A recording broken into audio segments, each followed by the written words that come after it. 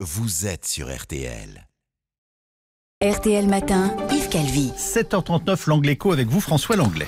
Bonjour à tous. La crise économique et politique s'approfondit au Venezuela. hein. Oui, ce pays euh, au bord de la mer des Caraïbes, c'est en, en Amérique du Sud bien sûr, est littéralement paralysé par une panne d'électricité géante qui dure de façon intermittente dans la quasi-totalité du territoire, y compris Caracas, la capitale, depuis trois jours. Conséquence, le téléphone ne fonctionne plus sur 95% du territoire.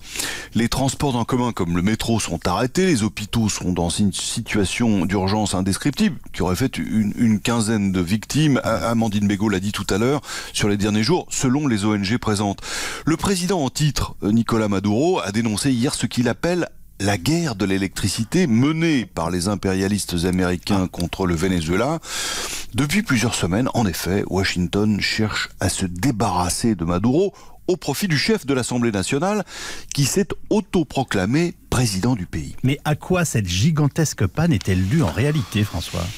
Ben D'abord à l'état délabré du grand barrage qui produit la plus grande part de l'électricité du pays. Euh, Il y a là-bas des pannes récurrentes que le régime n'a jamais pu faire cesser.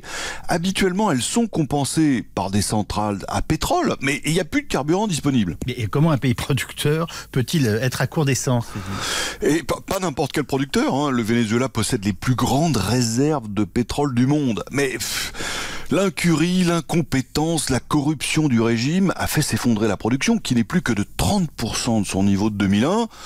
Et puis, les sanctions commerciales n'ont rien arrangé, au contraire. Oui. Auparavant, le pays vendait pour une dizaine de milliards d'euros de pétrole aux États-Unis, mais Mhm. Donald Trump a décidé de ne plus les acheter tant que Maduro restait au pouvoir, et il a également interdit la vente au Venezuela de produits chimiques, le nafta en particulier, dont on a besoin pour raffiner le pétrole. Plus de nafta, plus de nafta, pardon, plus de raffinage. Dites-moi comment la situation peut-elle évoluer Imprévisible, cette gigantesque panne d'électricité, bah, elle a évidemment interrompu tout dans le pays, les congélateurs, alors que les ménages avaient fait des provisions pour se prémunir contre les pénuries, Euh, les retraits d'argent, alors que personne ne garde chez soi de liquide à cause d'une inflation délirante de plusieurs pourcents par jour. Tous les commerces sont fermés, toutes les écoles sont fermées, toute l'activité économique du pays est interrompue. Jusqu'à quand ce chaos peut-il durer, François?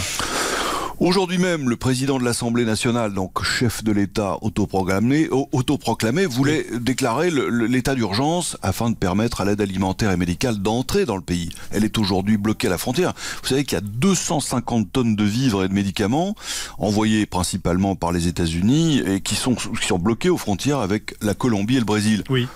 L'élément décisif, bah, ça sera l'attitude de l'armée qui peut faire basculer le régime actuel au profit de son challenger. Mais jusqu'ici, elle tient avec l'héritier du régime chaviste, Maduro. Donc, les Vénézuéliens n'ont donc pas d'autre choix que de subir l'agonie dévastatrice de ce régime. Ceux qui le peuvent fuient. Plus de 10% de la population ont déjà quitté le pays pour des États voisins, pour les États-Unis ou pour l'Espagne.